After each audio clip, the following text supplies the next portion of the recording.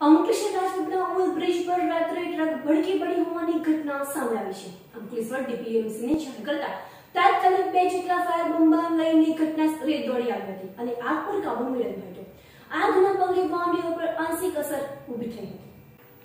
અંકલેશ્વર રાજપીપળા ચોકડી ઓવરબ્રિજ પરથી વડોદરા તરફથી પસાર થતી truck number R J zero ચાર જેબી બાર ચુમ્મોતેરમાં અચાનક જ આગ ભૂકવાના પગલે ટ્રક ચાલકે સમય સૂચકતા વાપરી ટ્રક બ્રિજ સાઈડ પર ઊભી કરી દીધી હતી અને નીચે ઉતરી ગયા હતા.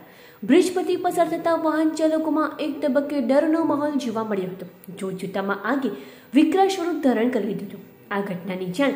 અંકલેશ્વર ડીપીએમસીને કરતા તાત્કાલિક બે જેટલા ફાયર બંબાની સાથે ઘટના સ્થળે દોડી આવ્યા હતા અને પાણીનો મારો ચલાવી ફાયર કર્મીઓએ આગ પર કાબુ મેળવ્યો હતો.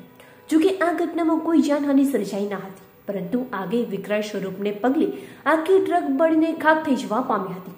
ઘટના અંગે શહેર પોલીસને પણ જાણ થતાં પોલીસ કાફલો પણ ઘટના સ્થળે દોડી આવ્યો હતો અને ટ્રાફિક નિયમન શરૂ કર્યું હતું. આગના પગલે વાહન નિવારણ પ્રાથમિક ડાયવર્ટ કર્યો હતો. ત્યારબાદ આગ ઉલવાતો પુનઃ વ્યવહાર શરૂ કર્યો હતો. તેમજ ઘટના અંગે જણાવાજોગ ફરિયાદ નોંધી હતી. પ્રાથમિક તપાસમાં આગ શોર્ટ સર્કિટના કારણે લાગી હોવાનું અનુમાન સામે આવ્યું છે.